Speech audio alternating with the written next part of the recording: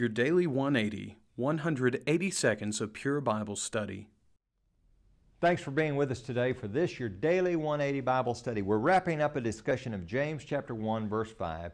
If anyone lacks wisdom, let him ask of God, who gives to all liberally and without reproach. Verse 6 says, But let him ask in faith with no doubting, for he who doubts is like a wave of the sea, driven and tossed by the wind. Aimless motion, maybe a lot of motion, but it's aimless if we don't have a great faith, a courageous faith.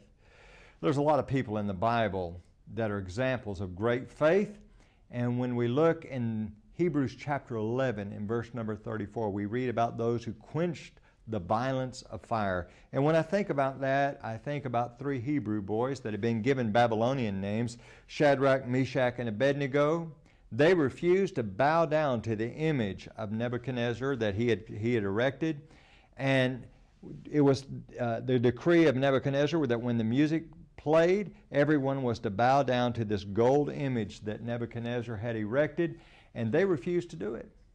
And he comes to them, he says, I'm going to give you another chance at this. And don't get the idea that somehow you're going to escape this because of your faith in God, because there's no God that can, can deliver you uh, from uh, this furnace. And notice what they said, the second part of verse 16, O Nebuchadnezzar, we have no need to answer you in this matter. Verse 17, listen closely.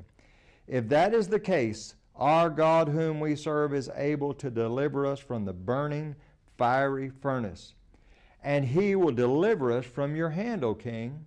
But I want you to notice the courage that these young men had. Verse 18 But if not, let it be known to you, O king, that we do not serve your gods, nor will we worship the gold image which you have set up.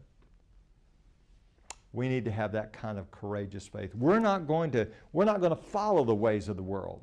We're not going to think like the world. We're not going to do the things that the world does and you know what?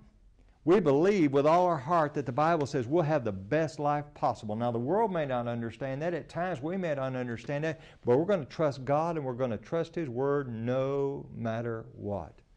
To take that kind of stand demands courageous faith.